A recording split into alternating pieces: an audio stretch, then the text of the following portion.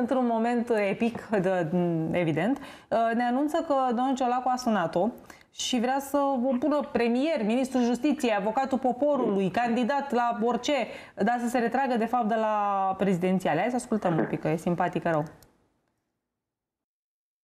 Vreau să transmit pe această cale sistemului că nu îmi este frică, nu mă interesează mizeriile lor împotriva mea, deși am fost sunată inclusiv de Marcel Ciolacu să-mi spună să mă retrag din cursa de la prezidențiale, deși eu nu mi-am anunțat uh, intrarea la cursa din prezidențiale și că mi oferă postul de prim-ministru sau ministru al justiției sau avocat al poporului și că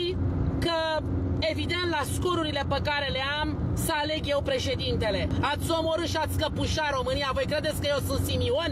Voi credeți că eu sunt Orban? Voi credeți că sunt Kelemen Hunor? Să cad în mizeria voastră?